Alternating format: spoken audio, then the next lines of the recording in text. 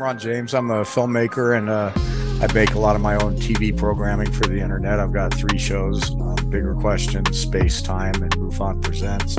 I'm the media relations director for MUFON, so that means whenever you see anything MUFON on like an episode of Ancient Aliens or whatever, that's I'm involved in that.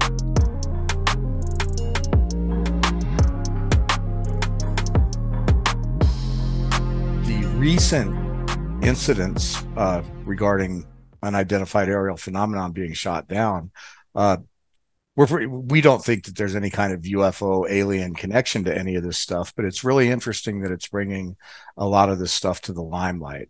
It's uh it's a topic that we need to explore, and anything that brings more awareness of the fact that these things exist is is a good thing.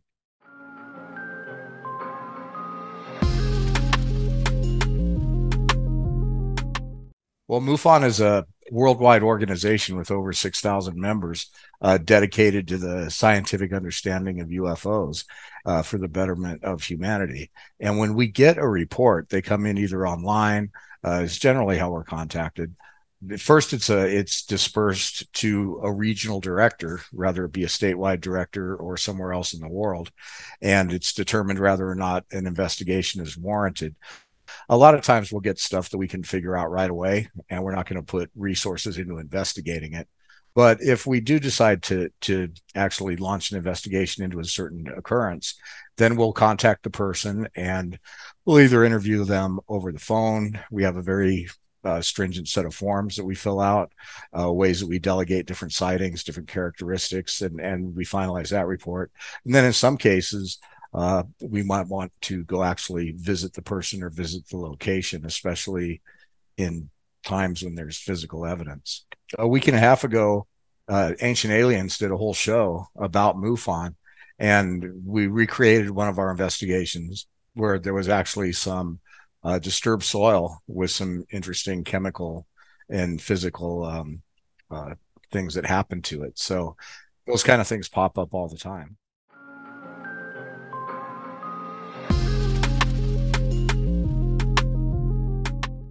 Well, you know what's interesting about that? We we do get rashes of reports, mostly because of activity from SpaceX.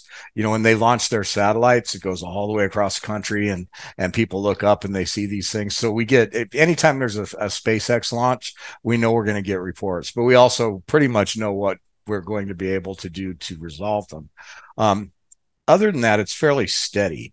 Uh, they come in from all over the world, hundreds a month, um, anywhere from three to 700 reports a month come in. Um, and uh, they're generally, there, there's a lot of similarities, but there's also a lot of differences. And we solve 98% of them. 98% of the reports that we come in, once we start cross referencing weather patterns, um, uh, flight patterns, military transponders, things like that, then we're able to pretty much determine, okay, this was probably caused by this or that. But we do have the, the ones that are unexplained. Probably about 3% of the 3%. reports that come in. So if we get 300 in a month, we're going to have 10 that we can't figure out, nine or 10. So it's um it's a very small amount, and you know we take pride in that because we're not we're not walking around wanting things to be anything other than they're not. We just want the truth, and so our investigators and our organization are motivated by let's get to the bottom of it more than the idea that we have something to prove. We don't we're not looking to establish anything except getting to the truth, whatever that is.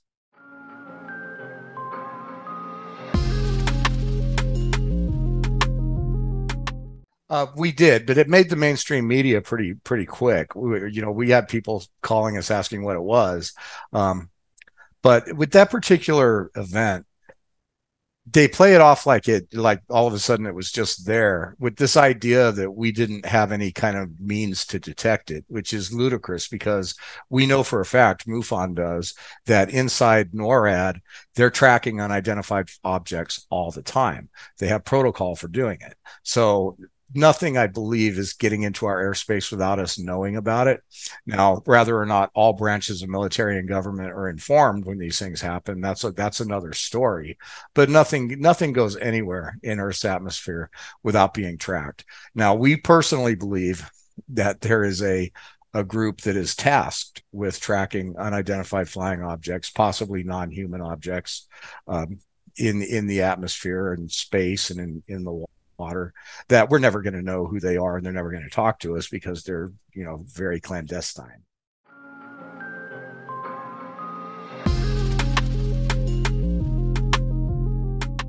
Well, I mean, I think they knew what it was all along, and I, I'm sure they knew about it well before it entered our airspace.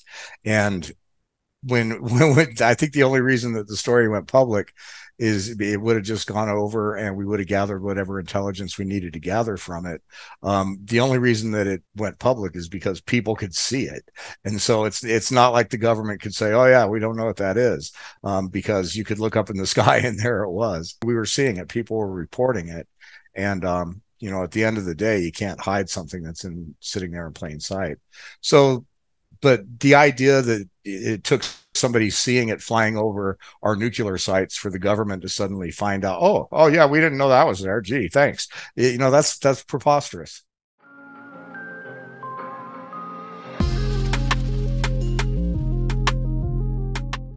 Well, I know that you know it's in the press that Biden actually gave instructions to shoot it down pretty much right away. Now that didn't happen right away because of safety concerns, but I think that they they they tracked this thing coming in, they figured out what it was, and then I'm sure that they played a little bit of let's send it some false information. Let's you know we know what it's doing here, so let's mess with it a little bit, and then they shot it down so they could analyze it. Um, I'm sure all of that would have happened uh, had we not known about it publicly. But since we did, you know, everybody's in on the story. And you know, we have to we have to be very concerned because look, look what this is all about. We've got China uh, floating a big giant balloon into our airspace. Any idea that something like that could come in and we wouldn't know about it? There's there's a danger of EMP attacks and everything yeah. else. So certainly, I, I just have a hard time believing that we're that unguarded and that naive. I think that that's just sort of a big play. Nothing gets into our airspace without us knowing about it.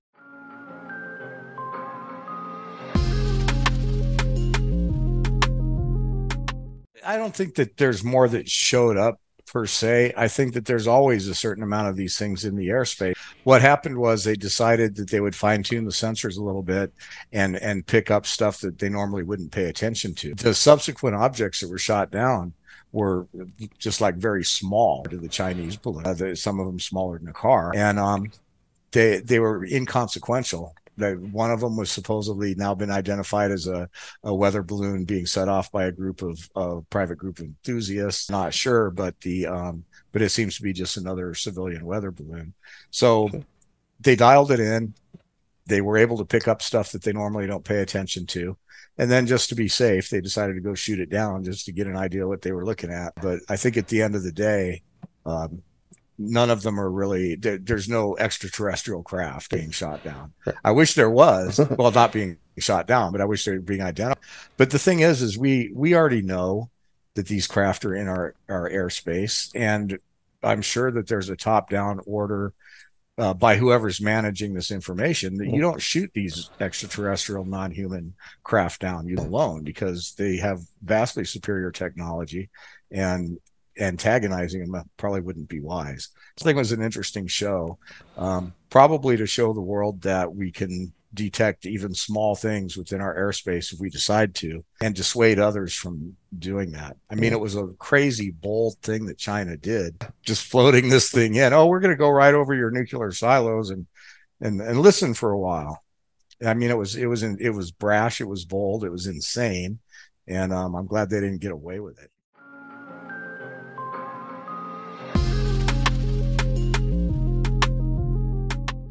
Um, not in evidence recent flap. in use. Yeah. No, no, and and actually, MUFON's released a report um, about similar sightings of similar craft, and there's been a lot, especially like the octagon balloon.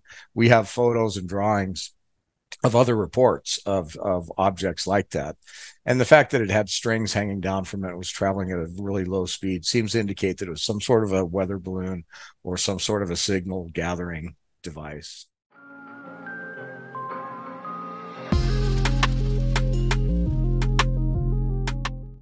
I think that I know that the one in Alaska is supposedly identified. Um, the one over Lake Huron's gone forever. and the one that shot down in Canada, who knows? But so there's loose identification of they weren't anything nefarious. They were probably civilian weather balloons, but we're probably never going to know exactly what they were because either they can't recover them or if they do they're not going to tell us but it was it, it was basically kind of you know after it was all over after it ate up the media for days at a time there's nothing to see here move along we think we think that the uh, we're we're we're glad that anything that brings exposure to what's going on with UFOs and unidentified craft. That's a good thing. Um, and even when it turns out that it has earthly origins and logical explanations, it's still a good thing because uh, it's it's drawing attention to the subject, and these things do exist, and that's not being debated. So anything that brings attention to it is good. And it, anytime that we're able to say, okay, this is, this is weird, but we can explain it, that's even better because it gives credibility to the field.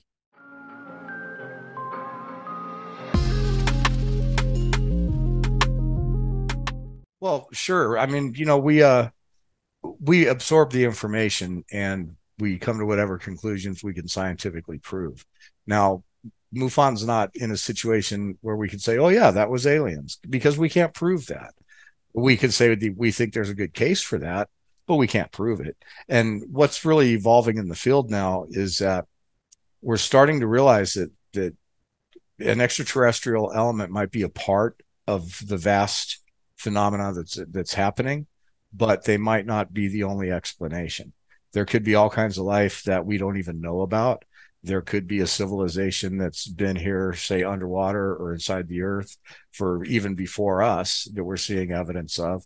Uh, there's interdimensional stuff. There's time travel. There's there's all kinds of different things that could explain some of these encounters, and that aren't necessarily extraterrestrials like gray aliens from Zeta Reticuli. And so I think as as things unfold and we start to get more knowledge about the nature of our reality, the answers are going to be very surprising. Even as science evolves, it opens the doors to this stuff. My my film that's coming out um, in April called Accidental Truth. We've got Dr. Michio Kaku chiming in, and he's arguably the world's most famous scientist. Uh, he's in there chiming in on actual evidence and specific technologies. So, we, so we've got him talking about how some of these things may be possible and what kind of a species it would take to do it. Uh, so it's it's not so scientifically far fetched. If we start talking about interdimensional beings, there's there is a science that these dimensions exist. Now we have we haven't proven it, but there is a scientific path that that says that we may come out the other side of it with some idea that interdimensions exist and interdimensional beings must certainly exist. So it's it's what used to be really out there tinfoil hat stuff is actually starting to get a little bit of traction, especially as we start to understand the nature of consciousness.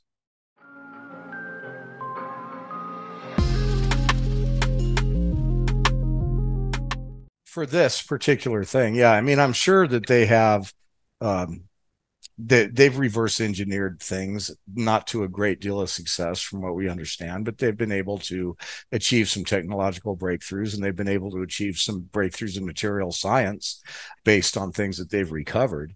But i don't think this was that. Accidental truth that we put together it's coming out april 18th we go over that. There there is evidence that we did recover crash debris from off-world craft.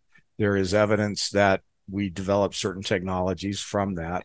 And there's evidence that all of the stuff that we're seeing now um, is a way to kind of get that information out to people in such a way that they can avoid account- accountability. So we point out in the film that they say that Project Blue Book ended and didn't do it, and there was nothing, uh, no studies up until uh, the ATIP stuff that Lou Elizondo came out with, but we we tear that story to pieces in film. We we actually found a, a, a colonel that ran some of these top secret programs studying UFOs that was front facing to the public, denying these programs existed while he was actually running one of them. So uh, so we're able to kind of blow the lid off that and show this history of the the materials recovery, some of the stuff that came from that and um, the technology recovery and where that's going, and how the current story we call it the new narrative um, is being rolled out to basically give plausible deniability to all the people that have been participating in this 100 year cover up.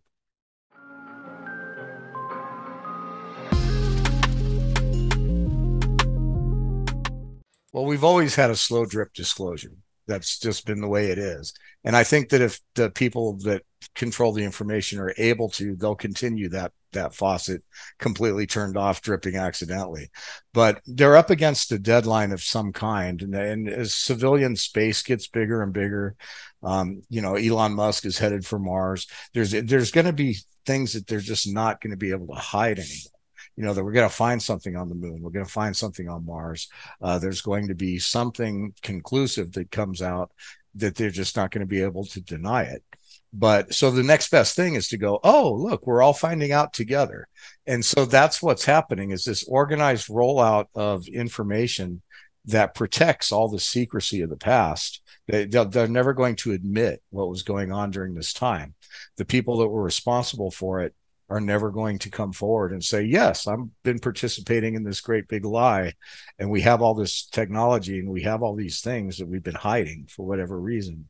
Um, but we're going to, so we're never going to get the truth, the full truth. We're going to get some kind of disclosure um, because I don't think they have a choice. They have to at some point acknowledge that we're not the only intelligent entities on on and around planet Earth or in the universe for that matter uh, because that's going to come up and bite us in the butt. And so, you know, it's going to be like, you got, you're either going to tell us or, you know, there, it's going to be, there's private groups doing this research now and they're finding these craft.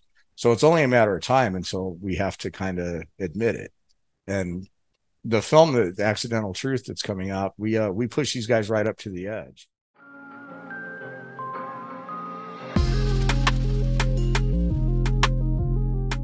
Reason that it's called accidental truth. Um, in fact, here I, I like to share this with you. So the um, this is the movie poster. Let's see if we can get it to show. And yeah, so this is one. This is a copy of the movie poster. This one's signed by Matthew Modine. He's the narrator. But this is there's a lot of symbolism in this poster. Right here we have the the the UFO crash of the past, and, and we're able to lay out a pretty good case that there's one or more of these. We have the beginning of the secrecy symbolized by the man in black. In the title graphics, you find the words truth and denial and uh, built into the, the graphic, which is really what it's all about. And then this, this color transition between the, the sky and the earth kind of is symbolic of just the explosion of consciousness that that is happening now. And as you get to the top, you see the human looking down, and he's kind of deconstructing. And what that what that is symbolizing is how once we have this knowledge, we're going to have to reassemble ourselves into a whole new perception. And so everything, even in the movie poster, is very symbolic. Um, and so we you, you can go to our website and see more about this kind of stuff. But so the film basically I've interviewed people for about 10 years to make this film. I have an exclusive interview with Lou Elizondo where he admits that there's a non-human intelligence accidentally. I have a, a, a, scientist that accidentally admits that he was studying classified materials for the government. Um, that we are able to explore why these materials can't be made on Earth we have an ex undersecretary of defense who basically admits that there was a secret group studying crash debris. We have um, we have uh, the people that ran ATIP talking about it, and we have a, re- a, a retired Army colonel that the uh, military says never existed, but we know he did. Um, basically admitting that he ran a program 30 years ago and they were studying the same kind of craft. So that's just a couple of the highlights from the film. It's not just another UFO documentary, it's really moving the ball. After, after Accidental Truth, there's going to be no room for these guys to go. They're, they're, they're already right up against the wall with a little bit of air between finally having to admit that there's a non-human intelligence engaging the human race, but they haven't admitted it yet. But there's no, but there's there's no air left in that after that.